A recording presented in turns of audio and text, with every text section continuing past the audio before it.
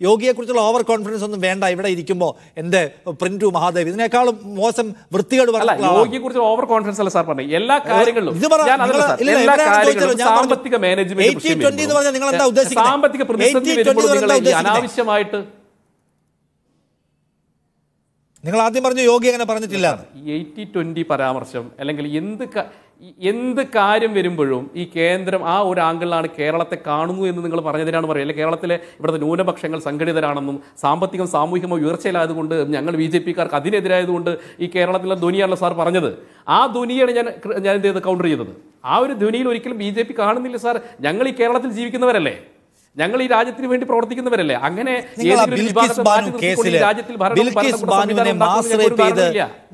ചെയ്ത് അവരുടെ മൂന്ന് വയസ്സുള്ള കുഞ്ഞിനെ വിളിച്ച് തല ഇങ്ങനെ കാലിലെടുത്ത് തലയടിച്ച് കൊല്ലുകയായിരുന്നു. ശൈലേഷ് ഭട്ട് എന്ന് പറയുന്ന ക്രിമിനൽ. അയാളെ ബി ജെ പിയുടെ വേദിയിൽ വിളിച്ചിരുത്തി പരിപാടി സംഘടിപ്പിച്ചവരാണ് നിങ്ങൾ നിങ്ങളെ നിങ്ങൾ എന്ത് എന്ത് തരത്തിലുള്ള നൈതികതയെക്കുറിച്ചാണ് എന്റെ പ്രിന്റു ഈ പറയുന്നത്? അതിലിപ്പോൾ ഒമ്പത് വരെ കാണാനില്ല. അവരെ പുറത്തിറക്കി വിടാൻ എല്ലാ തരത്തിലുള്ള ചട്ടവും ലംഘിച്ചവരാ. സുപ്രീം കോടതിയെ തെറ്റിദ്ധരിപ്പിച്ചവരാ. സുപ്രീം കോടതിയുടെ വിമർശനം നിശ്ചിതമായി കേട്ടവരാ നിങ്ങൾ. ഏത് ഈ ഗുരുതര സ്വഭാവമുള്ള ഈ പറഞ്ഞ ക്രിമിനലുകളെ റേപ്പ് കേസിലെ പ്രതികളെ ഇറക്കി വിടാൻ പാടില്ല എന്ന് രണ്ടായിരത്തി പതിനാലിലെ നിയമമുള്ളപ്പോൾ ആ നിയമമല്ല ഈ കേസ് ഉണ്ടായത് ആ നിയമത്തിന് മുമ്പാണെന്ന് പറഞ്ഞ് കള്ളത്തരം പറഞ്ഞ് അവരെ ഇറക്കി വിട്ടവരാ അതിനെ ശൈലേഷ് ഭട്ടിനെ നിങ്ങളുടെ വേദിയിൽ താമര ചിഹ്നത്തിന് താഴെ ഇരുത്തിയവരാ. നിങ്ങളാണോ ഈ ഈ ന്യൂനപക്ഷ സ്നേഹം പറയുന്നത്?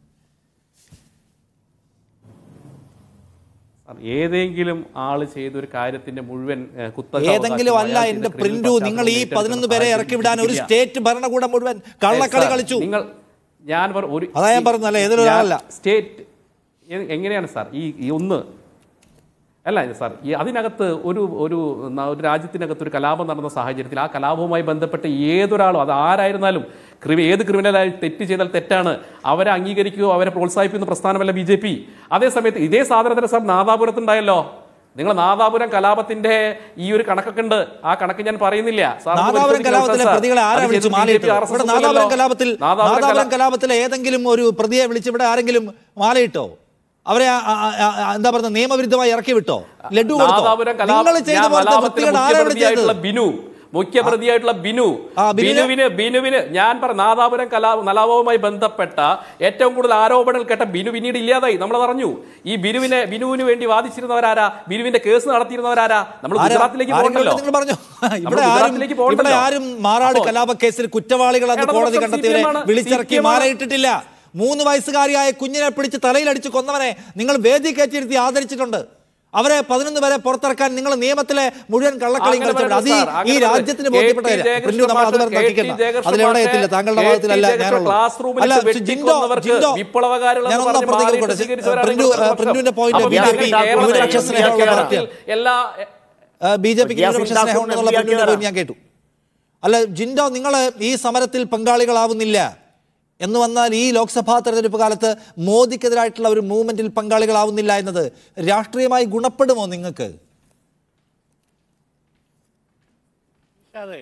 ഈ സമരത്തിന്റെ ഭാഗമായിട്ട് കോൺഗ്രസിന്റെ ടി എൻ പ്രതാപനും അല്ലെങ്കിൽ യു ഡി എഫിന്റെ പ്രതിനിധിയായിട്ടുള്ള എൻ കെ പ്രേമചന്ദ്രനൊക്കെ പാർലമെന്റിൽ ചോദ്യങ്ങൾ ഉന്നയിച്ചാണ് ഈ വിഷയത്തിൽ കോൺഗ്രസിന് അഭിപ്രായ വ്യത്യാസങ്ങളൊന്നുമില്ല. പക്ഷേ യോജിച്ചുള്ള സമരത്തിന് പോയില്ല എന്ന് പറയുന്നതിന്റെ പേരിൽ അല്ലെങ്കിൽ അതിന് തീരുമാനമെടുക്കാൻ വൈകുന്നു എന്നുള്ള എന്റെ പേരിൽ ഞങ്ങൾ മോദിക്കെതിരാണെന്ന് എങ്ങനെയാണ് പറയാൻ പറ്റുക? എങ്ങനെ അങ്ങനെ അതൊരു അതിവായന നടത്താൻ പറ്റുക? ഞങ്ങൾ മോദിക്കും ബി ജെ പിക്കും സംഘപരിവാറിനും എതിരാണെന്ന് ഈ കേരളത്തിലെ സി പി എംമാരെ ബോധ്യപ്പെടുത്തേണ്ട രാഷ്ട്രീയ ബാധ്യതയൊന്നും ഞങ്ങൾക്കില്ല. പക്ഷേ ഞാനൊരു കാര്യം സൂചിപ്പിക്കാം. രണ്ടായിരത്തി പതിനേഴിൽ ധനകാര്യ കമ്മീഷൻ ശുപാർശ പ്രകാരം അമ്പത്തി മൂവായിരത്തി ഒരുന്നൂറ്റി മുപ്പത്തി ഏഴ് കോടി രൂപ കേരളത്തിന് റവന്യൂ കമ്മി ഗ്രാൻഡ് ഇനത്തിൽ വകയിരുത്തിയപ്പോൾ കേരളത്തിന് ലോട്ടറി അടിച്ചു എന്ന് പറഞ്ഞ് അതിനെ മുക്തകണ്ഠം കൈയടിച്ച് സ്വീകരിച്ച് ആ നിർദ്ദേശങ്ങളൊക്കെ അംഗീകരിച്ച് പോകുന്നതാണ് തോമസ് ഐസക് എന്ന് പറഞ്ഞ അന്നത്തെ ധനകാര്യമന്ത്രി. അത് പ്രകാരം നമുക്ക് കിട്ടിയിട്ടുണ്ട്. അതേസമയം നമ്മോടൊപ്പമുള്ള സൗത്ത് ഇന്ത്യൻ സ്റ്റേറ്റുകളായിട്ടുള്ള തെലങ്കാനയ്ക്ക് ഒന്നും കിട്ടിയില്ല. തമിഴ്നാടിന് ആകെ കിട്ടിയത് ആറായിരത്തി ഇരുന്നൂറ്റി ഇരുപത്തൊമ്പത് കോടിയാണ് പക്ഷേ ആ സംസ്ഥാനങ്ങളിലൊക്കെ പെൻഷൻ മുടങ്ങുന്നുണ്ടോ? ശമ്പളം മുടങ്ങുന്നുണ്ടോ? മറ്റേ കർണാടകയ്ക്ക് കിട്ടിയത് ആയിരത്തി അറുന്നൂറ്റി മുപ്പത്തൊന്ന് കോടിയാണ് അവിടെയൊക്കെ ദൈനംദിന ചെലവുകൾ നടക്കാതിരിക്കുന്നുണ്ടോ? അപ്പോൾ ഞാൻ പറഞ്ഞു വരുന്നത് കേരളത്തിലെ മിസ്മാനേജ്മെന്റ് സംസ്ഥാന സർക്കാരിന്റെ ധനകാര്യ മിസ്മാനേജ്മെന്റ് മാനേജ്മെന്റ് ഒരു കാരണമാണ്. ദൂർത്ത ഒരു കാരണമാണ്. അല്ലെങ്കിൽ ടാക്സ് കളക്ഷൻ വൻകിടക്കാരുടെ കയ്യിൽ നിന്ന് കിട്ടാനുള്ള ടാക്സ് പെൻഡിങ് ആയിട്ടുള്ളത് കളക്ട് ചെയ്യുന്നതിൽ നമുക്ക് വളരെ ഒരുപാട് പുറകിലാണ് നമ്മൾ. ഐ ജി എസ് ടിയുടെ ഫയലിംഗ് നടക്കുന്നില്ല. ജി എസ് ടി സംവിധാനം ഏർപ്പെടുത്തിയതിന്റെ ഭാഗമായിട്ടുള്ള ടാക്സ് സിസ്റ്റം അത് നമ്മൾ അതിനനുസരിച്ചിട്ടുള്ള അപ്ഡേറ്റ് ചെയ്തിട്ടില്ല. നമ്മളിപ്പോഴും വാറ്റിലും അതിനു മുമ്പത്തെ സിസ്റ്റത്തിലൊക്കെ കിടക്കുകയാണ്. അപ്പോൾ ഇതൊന്നും കൃത്യമായിട്ട് ചെയ്യാതെ എല്ലാം കേന്ദ്രത്തിന്റെ തലയിൽ കെട്ടിവെക്കാൻ പാടില്ല. കേന്ദ്ര സർക്കാരിന്റെ ഭാഗത്ത് നിന്ന് നയപരമായിട്ട് കൃത്യമായിട്ട് സൗത്ത് ഇന്ത്യൻ സ്റ്റേറ്റുകൾക്ക് മാത്രമല്ല ബി ജെ പി വിരുദ്ധ സംസ്ഥാനങ്ങൾക്കെതിരെ ബി ജെ പിയെ എതിർക്കുന്ന സംസ്ഥാനങ്ങൾക്കെതിരെ കൃത്യമായിട്ടുള്ള നയപരിപാടികൾ അവർ നടപ്പാക്കുന്നുണ്ട്. അതിലൊന്നും നമുക്ക് അഭിപ്രായ വ്യത്യാസമില്ല. പക്ഷെ അത് മുഴുവൻ അത് മുഴുവന്റെയും പുറകിൽ ഈ കേരളം ഭരിക്കുന്ന പിണറായി വിജയന്റെ സകല ദൂർത്തും അഴിമതിയും കെടുകാര്യസ്ഥതയും മുഴുവൻ അതിന്റെ പുറകിൽ കൊണ്ടുപോയി കെട്ടിവെച്ചിട്ട് ഒളിച്ചു കിടക്കാമെന്ന് വെച്ചാൽ അതിനെ ഞങ്ങൾ അനുകൂലിക്കുന്നില്ല. രണ്ടാമത്തെ ഒരു കാര്യം ഇവിടെ സനോജ് തന്നെ സൂചിപ്പിച്ചല്ലോ സെസ് പിരിച്ചാൽ എത്രയാ നിസ്സാര കിട്ടുകയുള്ളൂ. അതുകൊണ്ട് പെൻഷൻ കൊടുക്കാൻ പറ്റില്ലെന്ന്. കേരളത്തിന്റെ ധനകാര്യമന്ത്രി കെ എൻ ബാലഗോപാൽ കേരളത്തിൽ നിയമസഭയ്ക്കകത്ത് ഈ ബജറ്റ് അവതരിപ്പിച്ചപ്പോൾ ഈ സെസ് പിരിക്കുന്നതിലൂടെ പെട്രോളിയം സെസ് രണ്ട് രൂപ അധികം പിരിക്കുന്നതിലൂടെ ക്ഷേമ പെൻഷൻ കൊടുക്കാനാണെന്നല്ലേ പറഞ്ഞത് അങ്ങനെ പറഞ്ഞിട്ടുണ്ടെങ്കിൽ ആ തുക കൊണ്ട് കൊടുക്കാൻ പറ്റണം. അല്ലെങ്കിൽ യാതൊരു പഠനവും അറിവും ഇല്ലാതെയാണ് അങ്ങനെ ഒരു സെസ് ഏർപ്പെടുത്തിയതെന്ന് ഞങ്ങൾ പറഞ്ഞാൽ അത് വിശ്വസിക്കണ്ടേ. അത് സമ്മതിച്ചിട്ടുണ്ട് ഈ രണ്ടാമത്തെ കാര്യം എം പിമാർ ഇടപെട്ടില്ലല്ലോ സമരം ചെയ്തില്ലല്ലോ എന്ന് നിങ്ങൾ ചോദിച്ചു.